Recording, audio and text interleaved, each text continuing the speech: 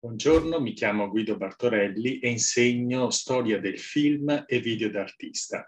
È un insegnamento che va a indagare dal punto di vista di uno storico dell'arte, quale sono io, con quali motivazioni, con quali ragionamenti gli artisti che fino allora si erano espressi in immagini ferme, statiche, la pittura o la scultura, abbiano sentito la necessità di eh, trasferire la, la loro ricerca formale su un supporto che permetteva il movimento. L'immagine diventa immagine in movimento.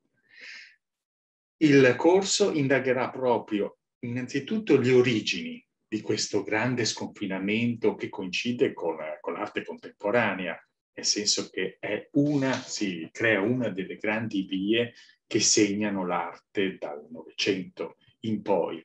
E si indagheranno proprio le origini, appunto perché, con quale tipo di pratiche si fa questo, per eh, risalire poi a, a, varie, a varie cose che succedono, innanzitutto il film come supporto, poi ci sarà nel corso degli anni 60 il video come supporto, poi ancora il digitale.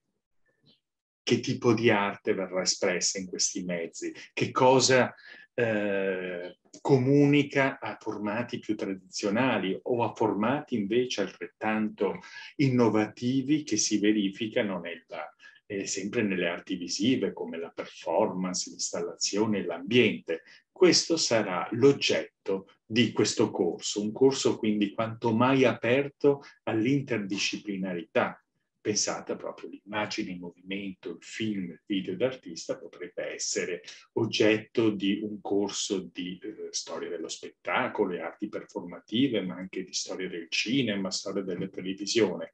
Il punto di vista dell'arte credo è molto interessante proprio per arrivare a capire il passaggio dall'immagine statica all'immagine in movimento. Grazie.